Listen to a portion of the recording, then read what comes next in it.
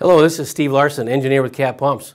Today we're going to talk about the three basic shapes of high pressure nozzles in our industry. And the first one we're going to start with is the direct spray or zero degree nozzle. I'll start by drawing a cross section of how the nozzle is machined to produce the proper uh, spray that we want out of it.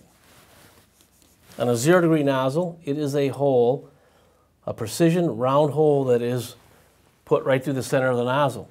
And what that does is the water comes in, it goes through this small orifice, and it keeps its pattern in a tight circle. Comes out here, really tight circle. And on the impact surface where it hits, it's a really small circle.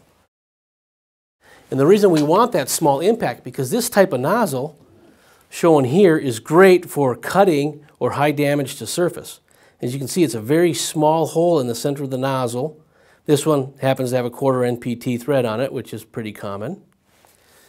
And again, that's very good for cutting and damaging surfaces. The next nozzle we want to talk about is the fan or cone nozzle. And what they do when they machine that, it's, it's a lot harder to machine because you got to put a spherical shape into it and then you have to cut a V-notch that intersects. And after they intersect, there's a, a shape in there that creates the spray that comes out at an angle. And when it hits the impact surface, it's shaped like that. So in that type of nozzle is really good for using where you're trying to sweep or clean a surface, things like that. This is what one of these nozzles looks like. And as you can see, it's got the V-shape uh, machined into it, and it's got the angle of spray etched into the face. This one happens to have an eighth inch NPT.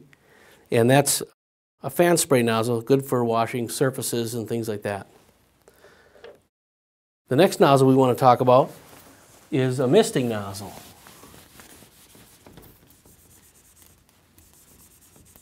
And how that differs in manufacture, it also has a small straight hole in it, but it's going to be much, much smaller than a standard zero degree nozzle. And then there's usually a deflection surface, like a wire, that's put on the outside right to the center of that hole. And so when the water spray comes through, it disperses it into thousands of tiny droplets that fill a, a full circle area like this.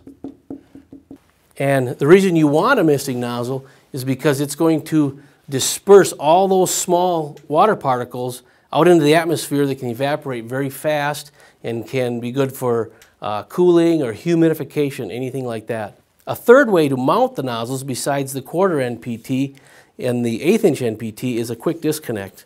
So you'll have a socket like that and the nozzle just fits inside. You just pull back the collar and snap it in. It's called a quick disconnect.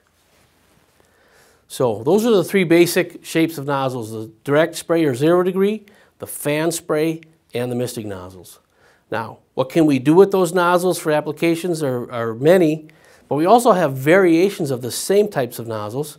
For example, we're going to look at the Vari nozzle here, and this is a nozzle that has a, a shroud on the outside, and as you can see in the center there's a zero degree nozzle down inside there.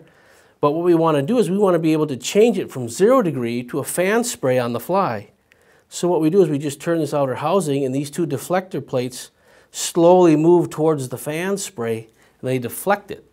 And it, and it turns out as a fan spray. So you can go from a zero degree to maybe a 45 degree. Another nozzle that's commonly used is the rotating nozzle. And that has a zero degree nozzle inside it as well that's ceramic and it will be shaped and attached to a turbine so that when the water goes through, not only is a zero degree nozzle spraying at an angle, but then it rotates about its axis and it creates a cone spray coming out at a zero degree pattern so it draws a circle with the high impact of a zero degree nozzle. And that's great for hydro excavating and dirt busting and things like that. One more application is the swivel nozzle. And basically there's a swivel that's attached to a spray bar. And the water uh, is forced in here, goes through here and comes out the spray bars, out the two tips. And these are balanced equal length and they're tipped at an angle so that as it spins, there's a reaction force that spins this bar while the nozzles are spraying. So there's a spray angle that's going around in a circle like that. And this is great for belt cleaning or floor scrubbing applications.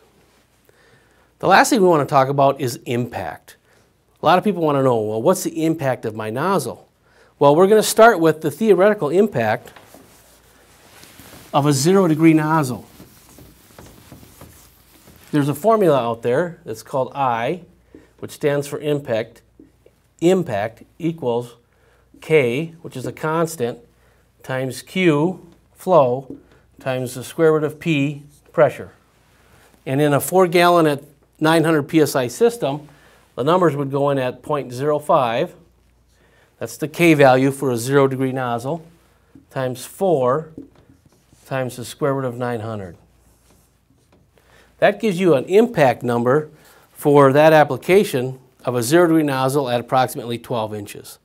And the thing to remember with impact and zero degree is that's the most impact will be with from a zero degree nozzle.